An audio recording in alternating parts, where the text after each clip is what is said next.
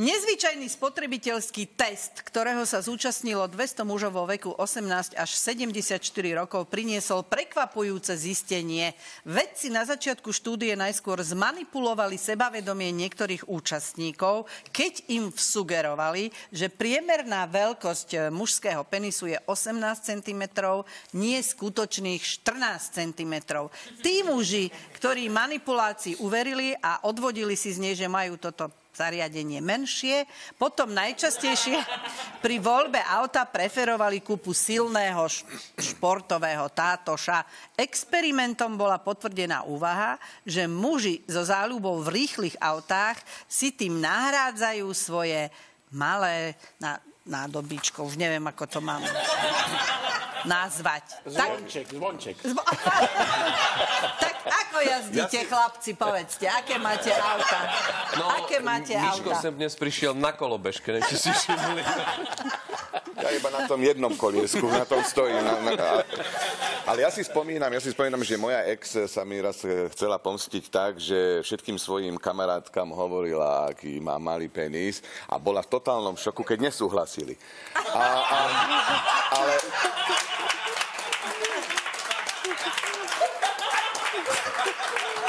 bolo jej to treba? Ale, ale, ale, ja si, ale ja si myslím, že opäť... Dobre, sa dosmejeme. A opäť... Opäť si myslím, že v tejto téme sa bude najlepšie vedieť vyjadriť Tomáš, lebo on na to bral aj liek, volal sa to penicilín. To ja?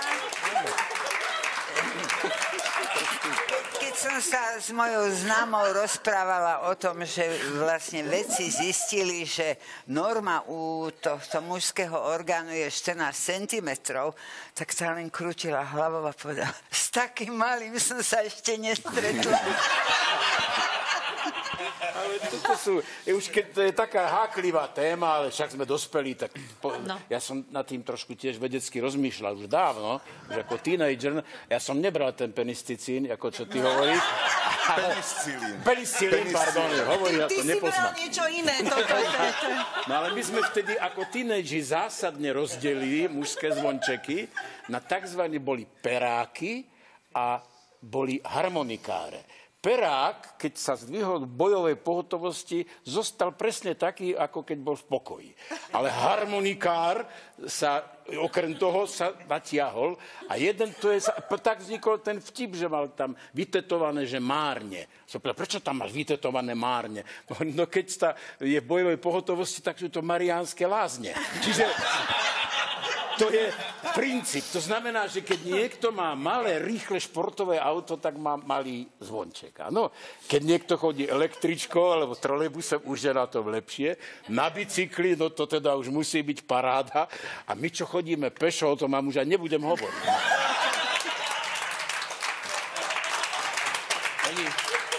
Možno, možno nemáte žiaden. Ale robil sa ešte, robil sa ešte za komunizmu taký akože prieskum, mm-hmm.